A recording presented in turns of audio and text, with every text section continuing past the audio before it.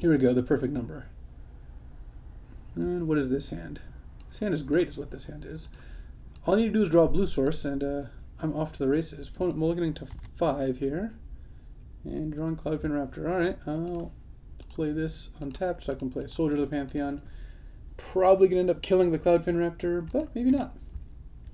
Alright, let's bash. And I could play an untapped land. I definitely should have played an untapped land first so I didn't get blown out by rapid hybridization. Well, that was dumb, but I didn't get punished. I'm just going to play that tap because even if my opponent plays something, I can then play Sky Knight and lock down whatever gets played. All right, my opponent has a terrible draw here, so let's uh, let's just attack again and uh, before playing our, our, spell, just because of playing around the card we should have played around last turn. And then now I get to play Sky Knight. Oh, let's tap this for white. Lock down the Cloudfin Raptor because Mize. And my opponent is not doing a ton here. Let's play a Desecration Demon. Hmm, do I want to trade for Cloudfin Raptor here? I actually think I'm fine with that. I'm not going to do much better, and Cloudfin Raptor stops Desecration Demon, so... Granted for only a turn, but I think playing the demon here is good. I don't think... I think I'd rather just save the removal spells for creatures that are a little bigger.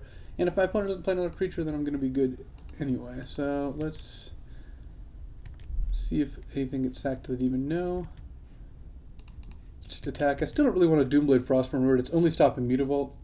Alright. Now I'm probably going to end up Doomblading it.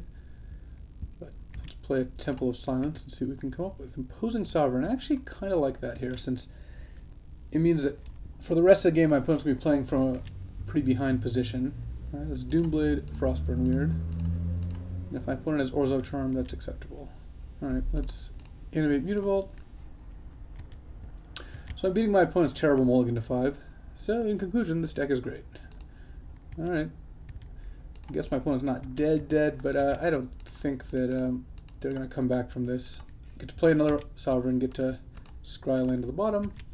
So now I have six points of in play against uh, a opponent with eight life, a removal spell in hand, and imposing Sovereign, which means that most of the spells my opponent can play don't do anything anyway. And Thassa is not going to do a single thing. Alright.